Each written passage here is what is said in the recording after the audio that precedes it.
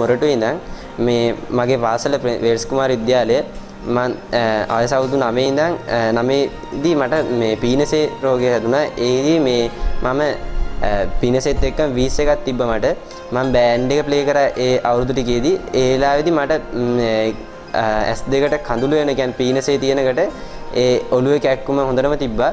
ඊට පස්සේ මම මේ ඒ දිගටම ඉංග්‍රීසි බෙහෙත් ගත්තා අවුරුදු 4ක් 4ක් 5ක් විතර ගත්තා. ඒ වුණත් මට తాවකාලික සුවයක් තමයි ආවේ.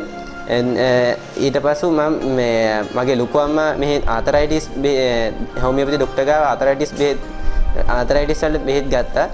ඒ වෙලාවේදී මම ලොකු අම්මා මට මෙහෙට එන්න කිව් මේ හෝමියෝපති ડોක්ටර් මධ්‍යස්ථානයට ඇවිල්ලා මේ එහිදී මම රෝගයට පීනස රෝගයට බෙහෙත් ගත්තා. ඒ වෙලාවේදී දෙදස් දාහතර වගේ පමණ මම මෙහෙට ආවා. ඒ ආවත් එක්කම කෙටි කාලයක් තුළදී ඉතාමත්ම කෙටි කාලයක් තුළදී මට මේ පීනසේ රෝගය සහ වීස් එක නිට්ටාවටම සුව වෙන්න මේ හෝමියෝපති ඩොක්ටර් මට ගොඩක් බෙහෙත් කරා.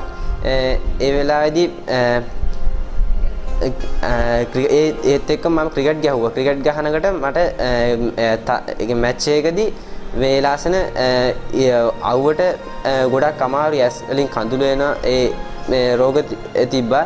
ඒ වෙලාවේදී හෝමියෝපති ડોක්ටර් නිසා මම මේ ගොඩක් ඒ රෝගේ මිදුන නිසා මට සෙල්ලම් කරන්න පුළුවන් වුණා.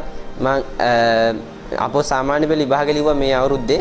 ඒ අවුරුද්ද ලියනකොට මට මම පාන්දර 3 විතර නැගිටින පාඩම් කරන්න. ඒ වුණත් මට ඒ වෙලාවේදී ඇස් වලින් කඳුළු වෙන ගතිය එතකොට ඔළුවේ කැක්කුම ඒ රෝග සියල්ලම සුව වෙලා ඉවරලා මට හොඳට පාඩම් කරලා කරලා විභාගය හොඳටම ලියන්න හම්බුණා.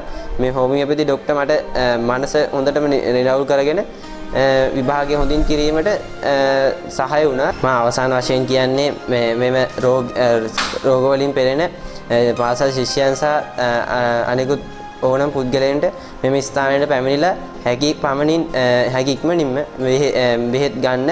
ඒ මගින් කිසිම අතුරු ආබාධයකින් තොරව මෙම රෝගය සුව කර ගැනීමට ඔබලාට හැකි වෙනවා.